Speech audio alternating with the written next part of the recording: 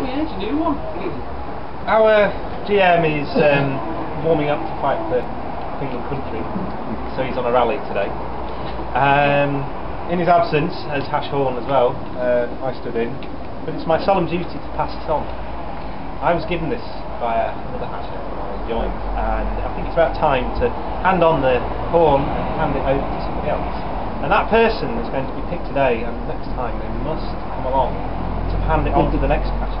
And or so give on. it to somebody to hand on, but they mustn't forget to bring Well, they it can put a hand on the next hash if they want. They can put that, yeah, they can grope the next hash or cover them, whatever they want to do, really. Now, now this person, we we have a, a a selection methodology, and I'm not going to tell you what I'm it is, not telling you what it is, but but the mismanagement will know.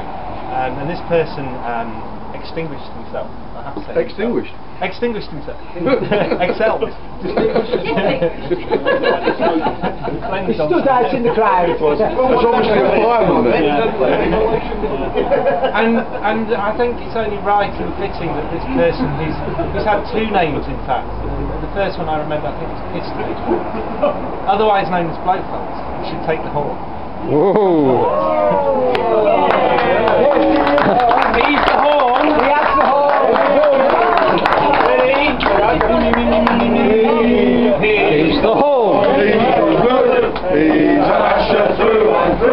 Seja